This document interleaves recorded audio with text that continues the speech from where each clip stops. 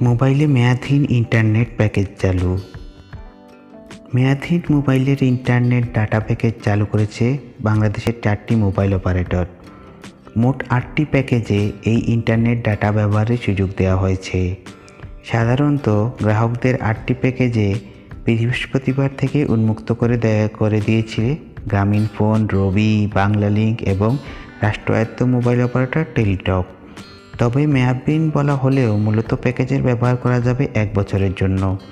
বৃহস্পতিবার সকালে বাংলাদেশ টেলিযোগাযোগ কমিশনার সভাকক্ষে প্যাকেজের উদ্বোধন করেন ডাক ও টেলিযোগাযোগ মন্ত্রী মোস্তফা জাব্বার। মেয়াদহীন নামে যে প্যাকেজগুলো রয়েছে, সেগুলোর মধ্যে রয়েছে গ্রামীণ ফোন এক হাজার একশো নিরানব্বই টাকা দিচ্ছে পনেরো জিবি, পাঁচ জিবি চারশো নিরানব্বই টাকায়, রবি দশ জিবি দিচ্ছে তিনশো নিরানব্বই টাকায় বাংলা লিঙ্ক পাঁচ জিবি দিচ্ছে তিনশো ছয় টাকায় আর টেলিটক দিচ্ছে ছাব্বিশ জিবি তিনশো নয় টাকায় এবং ছয় জিবি একশো সাতাশ টাকায়।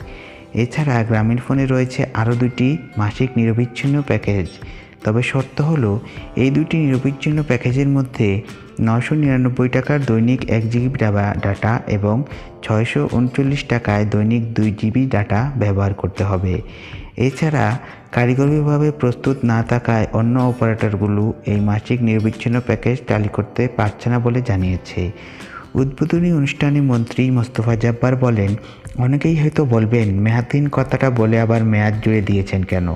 এটা আসলে টেকনিক্যাল বিষয়। টেকনিক্যালি এটা অন্তহীন মেয়াদ দেওয়া সম্ভব নয়। তাই সফটওয়্যারের কারণেই এটার মেয়াদ এক বছর পর্যন্ত দেওয়া হয়েছে। যা নিয়মিত ইন্টারনেট ব্যবহার করেন তারা জানেন এত অল্প টাকায় এতদিন ডাটা ব্যবহার করাটা কতটি লাভজনক।